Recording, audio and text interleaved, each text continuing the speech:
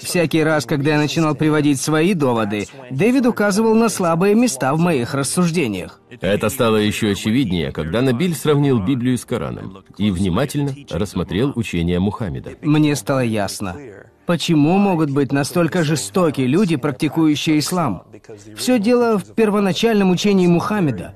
В традициях ислама есть очень, очень жестокие учения. Итак, я пытаюсь защитить ислам перед лицом друга христианина. Я пытаюсь объяснить ему, что ислам мирный, что у женщин равные права. Все то, во что я так верю, я должен доказывать. И я терплю жалкое поражение, просто потому что не нахожу доказательств. Набиль понял, что единственным логическим выводом может быть признание Иисуса Сыном Божьим. Но признать это значит пойти против всего, во что он когда-то верил. Самое страшное богохульство в исламе – поклонение кому бы то ни было, кроме Аллаха. Есть